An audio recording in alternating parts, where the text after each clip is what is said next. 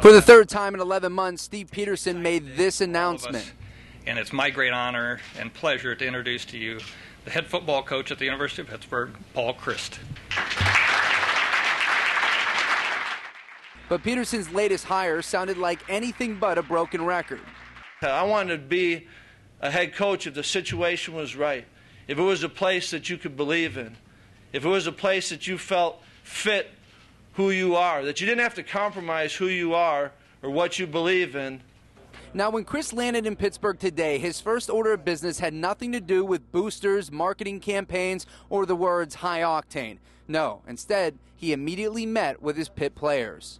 Because that is what really energizes me. That is what we are in this thing for. We are football coaches, and you can't coach if you don't have players.